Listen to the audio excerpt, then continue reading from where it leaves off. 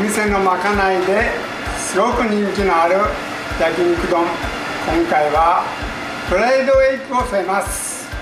はい材料いきます。こちらも、えー、蒸しテイストで和風のあのー、タレがいっぱいいっぱいいっぱいあります。まず入れていきますよ。はい醤油です。で砂糖です。それで、えー、お酒。はいみりんですでごま油入ります。はい。豆板醤も入ります。これ似てるんですけど違いは、えー、非常に先ほどのやつよりはもっと和風でこれ生姜です。はいにんにくです。はい全部入りました。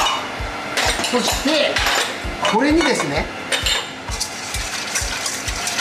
いけますでしょうか。大根おろしが入ります。はい。すみませんはい大根おろし。これ絞りますかもしれないもうそこまでいきますこの大根おろしが入ると非常にあの焼肉の香り高いソースが出来上がります。はい。は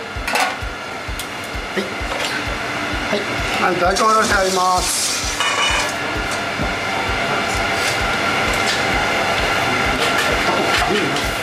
あと長ネギです。長ネギの、えー、まあちょっと粗めのみじん切りでございます。はい、うん、粗みじん切りこっちです。はい。あ粗みじん切りですこち。ら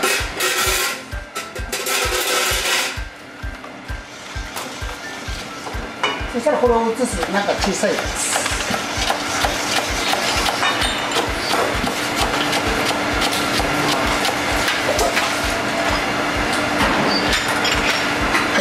はい。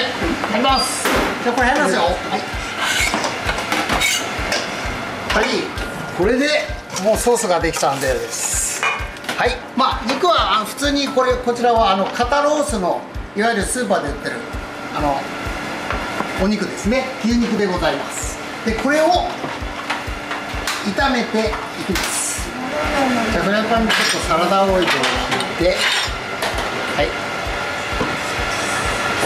こうやっぱりテテフロンとかチタンとかのあのフライパンはくっつかないのでできるだけこういうフライパンをおすすめします。はい。普通あの塩コショウしますけどこちらのタレねさっき作ったタレ結構味が濃いのであの塩コショウする必要はございません。でこうやってこう焼いていきます。もうなんなんですはい。いいですかうん。こういうのこれ焼きますでこうやってこう。はい。ダメですねでこれ余分な油がやっぱり出ますのでこういうペーパーでこう拭かれるとあ非常にいいと思います。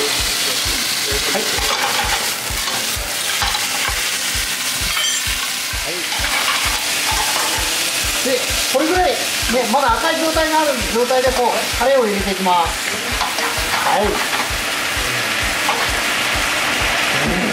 おお美味しそう。うまそうはいや美味しそう。だよしはい。はい。でこれをちょっとこうあのー、このソースの中で煮るんですね。もう非常に大根の香りとネギの香りが非常にあの引き立ってきました。はい。もうこれでもう完成です。はい。もうこれ以上やるとあれなんで。はい。いいですか、うん、はい。開けていいですか？はい。いいですか？はい。開きますこれを後ほど丼にのっけますはいはい次は温泉卵です。温泉卵を。油で揚げます。これはちょっとあの温度を上げた中で一気に揚げてしまうと周りがこうカリッとなって中がとろっと。結構美味しいです。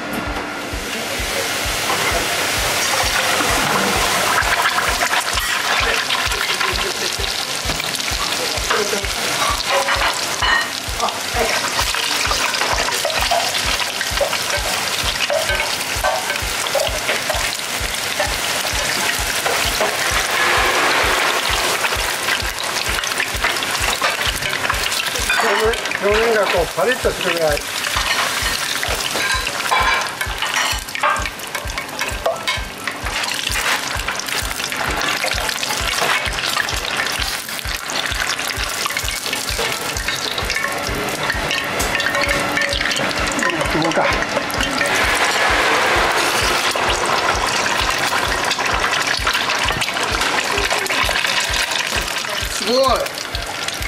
でタレ入ります。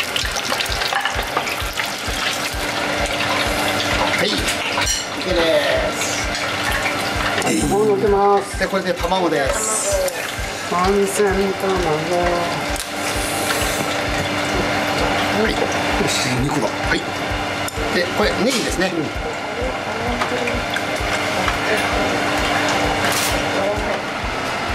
はい。焼肉丼の完成です。うちの店で人気のまかないです。ぜひ食べてみてください。